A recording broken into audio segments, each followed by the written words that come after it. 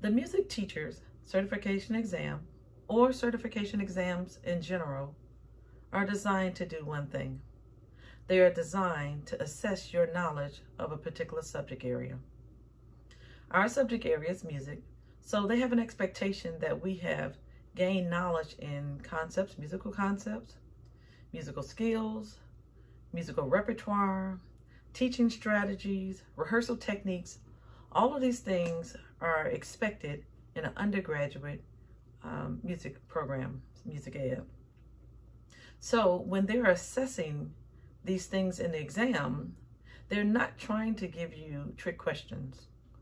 They are trying to find out if you have been able to retain all of the information or as much of the information as possible throughout all of your courses.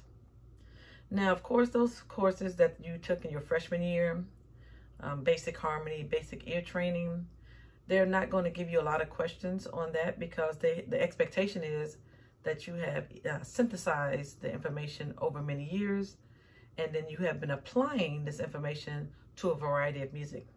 So you've been transferring um, chord progressions that you have learned in harmony classes to now to the music that you listen to on the radio. What they're assessing is how well do you know your content? The state where you are located needs you to know your content because they are entrusting to you that you will give their students a quality music education.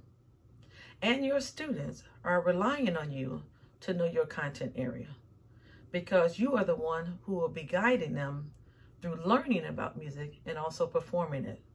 So it is extremely important that you understand the content in music.